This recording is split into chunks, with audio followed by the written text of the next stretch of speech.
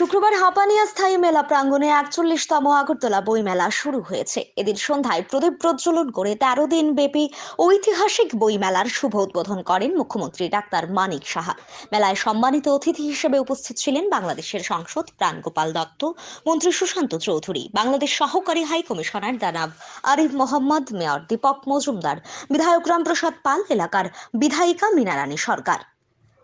এই বছর বইমেলার মূল ভাবনা বসুধৈব কুটুম্বকম। ঐতিহাসিক বইমেলার শুভ উদ্বোধন করে মুখ্যমন্ত্রী বক্তব্য রেখে বলেন, এই মেলাকে কেন্দ্র করে এক অদ্ভুত পরিবেশ তৈরি হয়েছে, আর এটাই কাম্য। উনিশশো একাশি সালে রবীন্দ্র শতবার্ষিকী ভবনে এই বইমেলা শুরু হয়। পরবর্তী সময় শিশু উদ্যানে এই বইমেলার আয়োজন করা হতো। তারপর আবার দেখা গেছে উমাকান্ত মাঠে এই বইমেলার আয়োজন হয়েছে কয়েক বছর।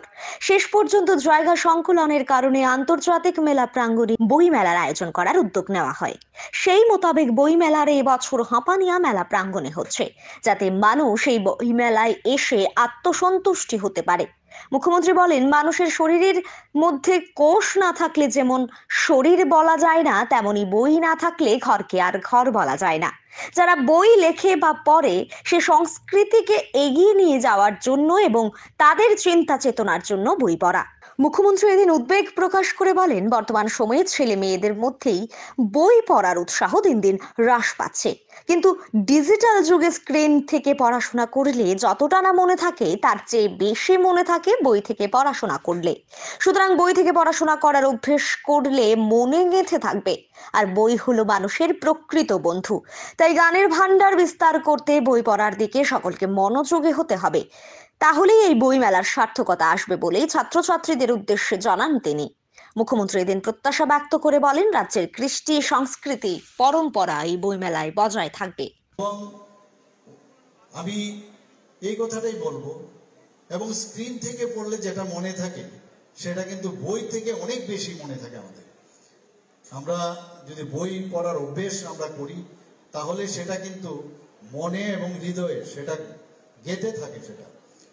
এবং তার মধ্যে যে কথাটা এখানে বলাও হয়েছে, যে প্রকৃত বন্ধু বলতে যদি আমরা কাউকে, আমরা যদি বিবেচনা করি, সেটা হচ্ছে বই। বইয়ের মতো বন্ধু আর কেউ হতে পারে না।